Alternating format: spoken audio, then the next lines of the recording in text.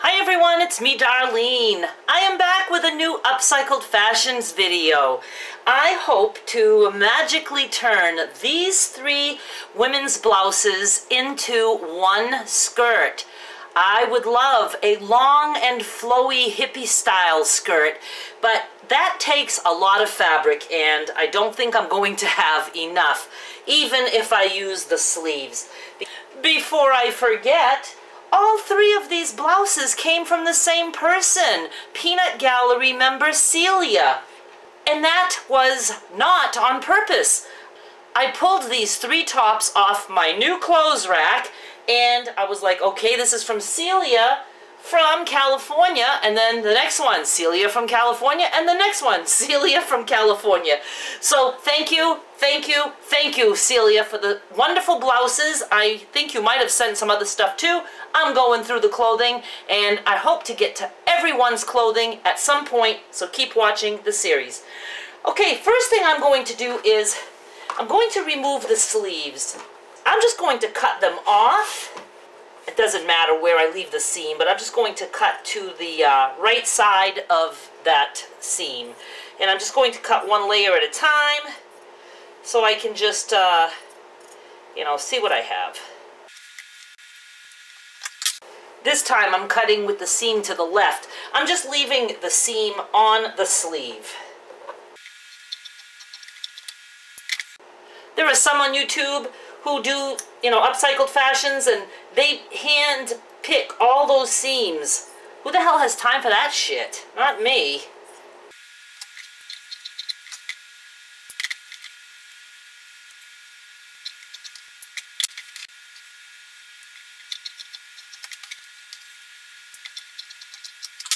At this point, you have a really cute sleeveless summer top. I did want to mention that these are obviously three different prints and three different uh, textures. This one is 55% cotton and 45% polyester, and these two are 100% polyester. That's all going to work together great. Now I want to cut some panels for the skirt. And I think I'm going to do something different. I was going to like cut, you know, the fabric and you know the, the panels would all have raw edges and sew them together. But I think I'm going to keep the integrity of the blouse and just leave the strip of buttons on there and the strip of buttonholes and just sew those together like that. Might be kind of cool. So what I need to do now is just cut some panels. Maybe I should cut the back off the front first. Let's do that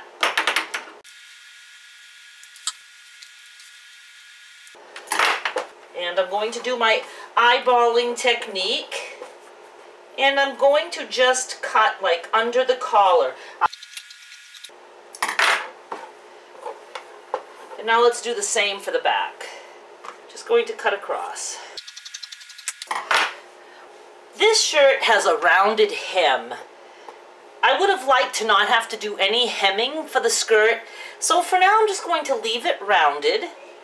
And I am going to cut it in half though, lengthwise, because I want the panels to alternate, like a panel of this, a panel of the white, panel of the other. So I'm just going to fold this in half, and I'm going to cut down the back.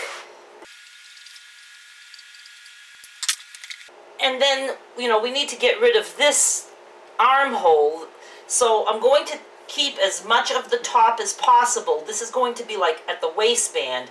So I'm just going to cut and then keep it as wide as I can at the bottom. So I'm just going to envision my cutting line. It's going to go like that. I think you can see me. Yes, you can. Just going to cut at an angle. And I'm cutting through both layers. Alright, I have two panels of fabric. So this part for now is done. And I might use this leftover waistband. It does have black and white. I'm not sure yet. All depends. But I saved this from the previous upcycled fashion where I turned a skirt into a tank top. I save everything. I save the collars, all that stuff. It's surprising what you can do with those things. Okay, now I have to do these pieces. And I will unbutton them. And I'm going to lay those right sides together. And I'm going to do the same thing.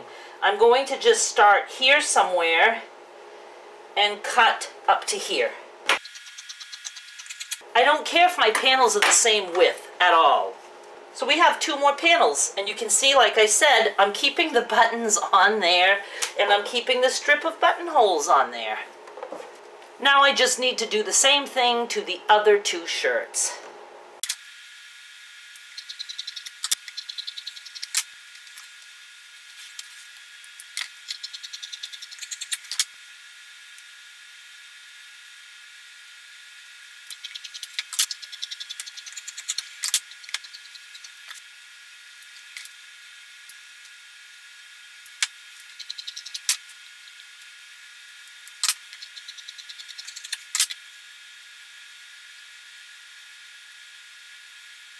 This shirt is very crinkled and has a flare on the bottom. I'm going to cut them individually. I'm just going to uh, try to take that point off from the armhole. So I now have a whole bunch of fabric panels. I haven't touched the sleeves yet. I have what I think is a very good idea. I might get my long flowy hippie skirt after all. I actually took a little break so I could think and I uh, uploaded and started to edit the beginning of this video and it came to me. I am going to leave all these weirdo unmatching hems on the skirts. I don't care if it's rounded. You know, this one is rounded. This one is extra flared. The white is straight that's all going to be good. So the bottom of the skirt will all be hemmed for me. I have these as, you know, this print, then this one, then this one again, this one, alternating. I'm going to cut the white in half again lengthwise so I can have eight strips of white and then I'll be able to put a narrow strip of white between each of these strips so that the two black ones don't touch. Then what I'm thinking is this is going to be very wide and flared. I can then use the sleeves somehow to make um, the waist, the waist part, like from the hips to the waist. So let's at least put the bottom of this together. I'm going to just move these for right now. And I'm going to take my white strips and I'm just going to cut them in half and I don't care if there's a part where it's flared or not and I'm just going to randomly cut. So this one has a little bit of a kick to it this one does not. All I know is I need eight strips.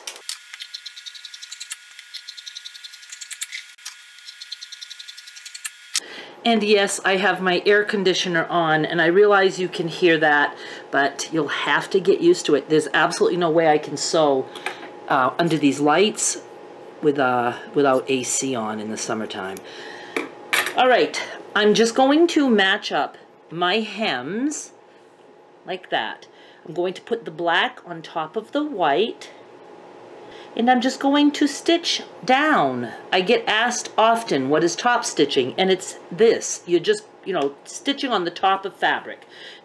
So I am going to go forward and then back up a little bit just to really attach that there and then go forward again.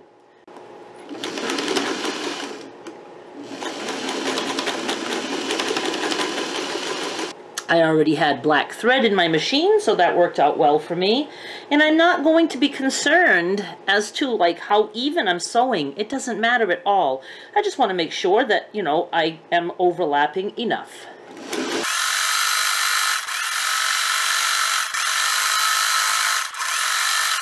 And it doesn't matter that this isn't matching up. None of that is going to match up. We just want to make sure we're matching up the hem. This is all going to be trimmed. That's why I didn't bother measuring anything and trying to make my panels the same length. No, I just sew the stuff together, trim as needed. And since this will get trimmed, there's no reason to go back and forth to reinforce that because it's just going to get cut anyway. So now I'm just going to keep building this skirt. Now I can put another white strip here. Are you frigging kidding me? As careful as I was, this is so hard to differentiate the right from the wrong. I have this sewn on wrong. The finished edge is on this side on the white, but it's on this side. I have to take this apart. I do, and I will, right now.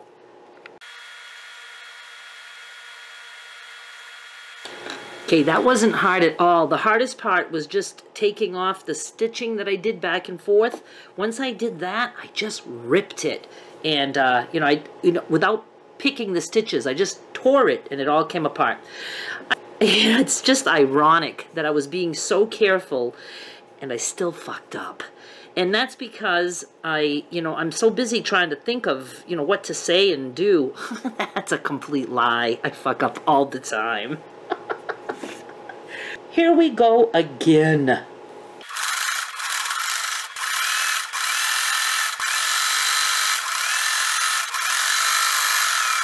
Now, I am going to just uh, get all these threads out of here.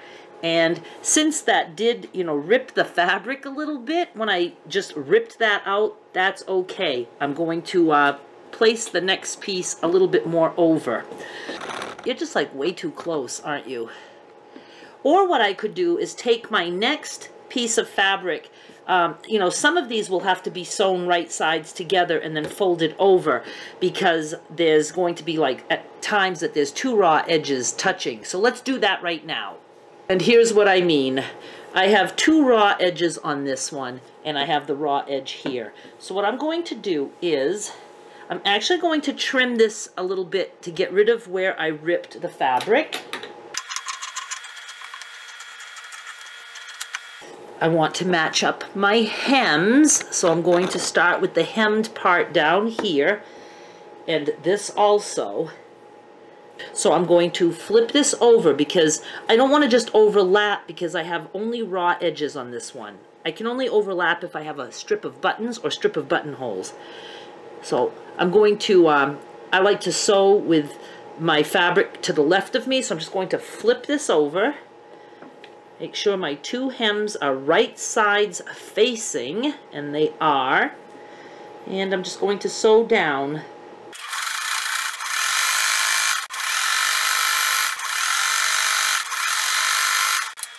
Now I can just open this up. See, it looks like it's wrong here because I have this top stitched, but I like it. It makes it different. As I said, you know, nothing up here is going to match up. We'll trim that all after. But look at our hem. It's kind of cool and funky. Now remember, this one is rounded, and I don't care. I'm just going to have all just different weird hems at the bottom. I am just going to continue building this. The next piece will be white, and then the other piece will be this kind of black, and then white, and then this black. Just going to alternate, and then I'll be back when I'm done. I am done putting these strips together. This would be one hell of a full skirt.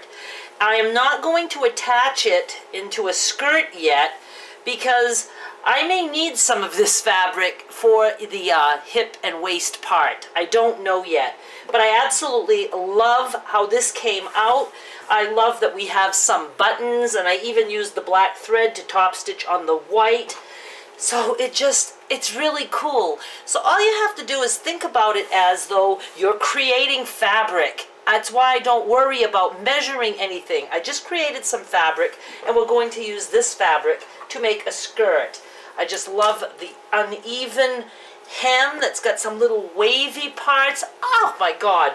Okay, now I have to look at the sleeves and see what we can do for the upper part of this skirt. I took quite a break and tried to figure this all out, but once again, I am just not going to have enough fabric to make the long full skirt that I wanted. I don't feel like taking panels off the part that I already made. I'm just leaving this. I thought of introducing another piece, a fourth shirt, to make the part that, you know, would be around the hips of the mannequin. But I, it just takes away, you know, it's not the same black. I don't know. I just don't like it. So I'm not going to do that. I don't have anything else that, you know, I could use for fabric that I like with this. So I'm going to have to just have a shorter skirt. I hope it at least goes to the knees. What I'm going to do is I'm going to cut these white sleeves into, oh, I'm going to do just one at a time, into four rectangles. So I'm cutting right here where that cuff separates. I'm leaving those buttons on there and I can get it to be about one, one, two, three, four, five, six inches wide and then right to here. But now I have to cut this in half because the heck is in there? Oh, it's a thing like this to tie the sleeves up. Well, I'm just cutting that off right there. I have to cut this in half because I need to create a, a wide waistband. So I'm just cutting this in half like this. And I'm going to do the same to this guy.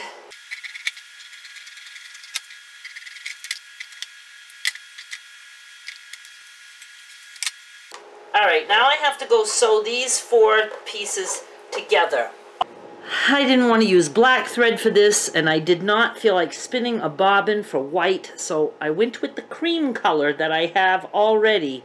And I'm just going to put these right sides together, and I'm just going to sew down one side.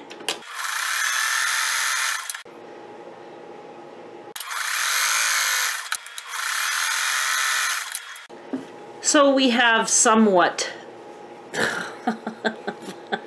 of a waistband. This is so, so short. Not what I want.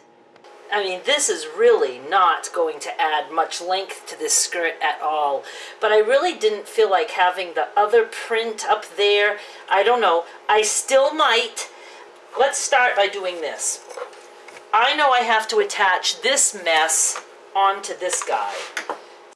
So I'm going to fold this in half. So like this and then in half again. Now I'm putting this sideways and I'm going to just trim this now. And all I want to make sure is that I go down as low as the shortest panel and I can kind of feel that. I'm just going to start here and cut across. Now I can kind of peek inside and see if there's anything still shorter. Yes, there is. Okay, gotta go down a little bit more. I'm losing so much length. Okay, looks like I got it all. Now I want to kind of find the quarter points and I'm going to mark that with a pin. A safety pin, not straight pins. So here's the halfway mark. Going to put a pin right there. And then I'm going to find the half between each edge and that pin. Because I'm going to just be gathering by hand and eyeballing it kind of about there. It doesn't matter at all if I'm off by by a little or even by a lot. And one more here. So kind of right here. So now we're going to the machine we're going to sew all of this onto this and we're going to make it fit for the waistband, I have the right side facing up, and I have a button there. I'm going to try to just keep that right there. Be cool if it could stay. If it's in my way, I will cut it off. Oh, I have to find my halfway point and my quarter points on this. And for this, I can mark with a straight pin because I'm not likely to hurt myself too much. And I did stick myself just then. Now when I sew, I'm just going to gather this massive amount of fabric and kind of try to make the, the pins match up. And then I'll kind of know that I have it evenly pleated. Now I want this to have right sides down. Now this is already nice and crinkly, so that's going to be pretty easy to gather. So I'm just going to start here. Let's just get started.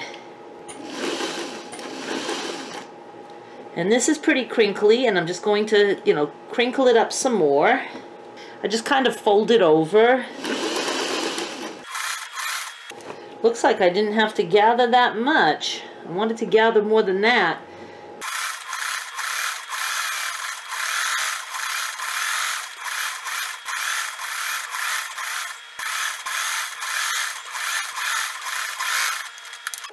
This did not come out half bad. Now I'm undecided if I'm going to add some more fabric to there.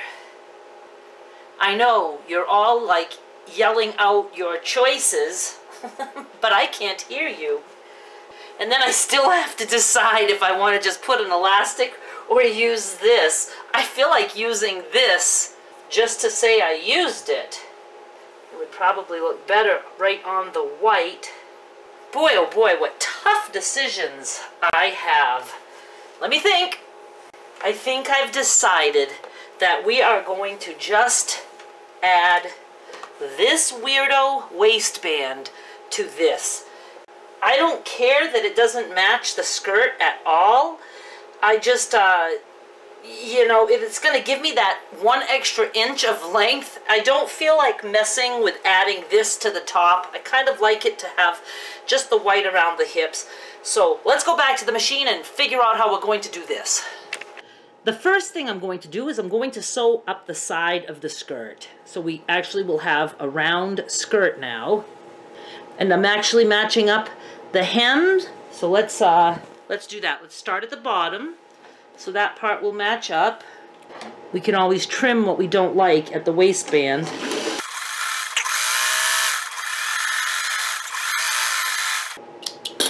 This is matching up perfectly, and that is so by accident. Totally. And if it didn't match up, I would have just trimmed it. Okay, now let's look at this waistband. Oh, I wish I would have uh, kept more of it. I have to decide if I'm going to want to just sew and top stitch or what. Well, let's find my quarter and half points. Okay, here's the seam, so that's one. I'm just going to go across and mark the other end. I'm going to, I guess, use a straight pin and worry. And then my quarter points will be approximately here and here. Now I need to mark the quarter points of my skirt. Okay, my seam is one of the points. Oh, I have a lot of seams, so I better mark. There's one. And then the other side is here. And there happens to be a seam, but I'm still marking it. Well, I don't need to put pins. I have the four seams, and those are as close to the correct points as possible. So now I have to figure out what uh, way I want to sew that onto here. You can tell this is crooked. I don't care. I'm going to just fold in a little bit and I'm going to stitch. So this is a finished uh, edge and then it'll make it easier to put on the elastic.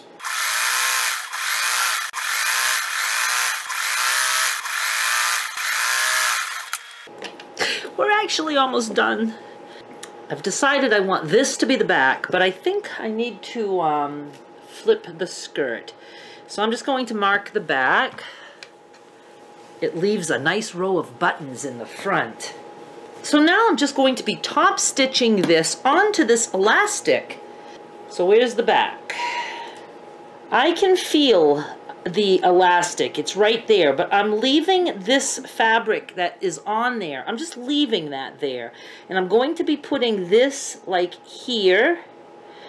There's a stitch line there, and I'm going to just put the edge of my skirt up to that stitch line and when I stitch it's going to catch the elastic. You do whatever you want. Please do know this is not like a tutorial like where I expect you to do this. You're just watching me do something. It does give ideas. It'll give you ideas. For those of you who know how to sew, it'll give you some ideas. Okay, so let me put this guy under here and I'm just going to do a couple stitches to hold it. Okay, sticking the needle in. Now what we have to do is, I have to stretch the elastic while I sew. Oh, you know what? We need zigzag. Glad I remembered that. So here's my seam, that has to go to where the pin is. So I'm going to take the pin out and I'm going to just uh, put that seam there. And I'm just going to put the pin back. So I just want to know that I need to stretch as I sew so that those two points match. So I'm going to stretch like this. Ooh. Yep, I'll be able to stretch enough. So I'm just, ooh, those pins are so dangerous. So I'm really stretching this elastic. And I have a zigzag. Really stretching the elastic. Okay, I'm going to take this pin out now. So that worked out really, really well. Now I need to find my next point. It's going to be this seam. It has to go where this pin is. Just going to pin that right there for now. And I'm going to play the stretching game again.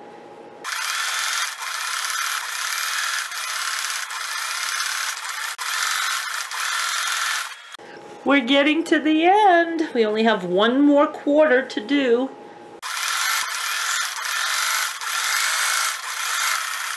We are so done. I will take you over to the mannequin, but I just wanted to show you. This is what it looks like. Oh, if it was just a little longer. See, I would have liked this part to be like double of that. I like it when it's kind of like slender fitting around the hips and then it flares out. But this is what we've got. I'm very happy with it. And, you know, using that waistband came out all right. And there's just a little bit of black showing, so it goes good with the skirt. I don't even care if it doesn't. It can always have a shirt over it. But even if not, nobody would know that it didn't belong to this skirt. I love that we have things going on like a row of buttons and oh, it's just so cool. Okay, let's go put it on the mannequin. And this is what we have, folks. Again, it's not the skirt I envisioned, but I'm happy with it. I did have a white tank. I think I like it better with the black tank. You can see that it is very flared. I mean, this, this uh, is, you know, goes way out there. But again, I would have liked this part to be like maybe to here and then have the skirt flow from there. I love that there's strips of buttons. It's just so fun. It's a fun skirt.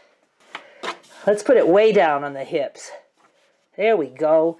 I just think it makes an awesome beach skirt like that. And I absolutely love that I used that as the waistband.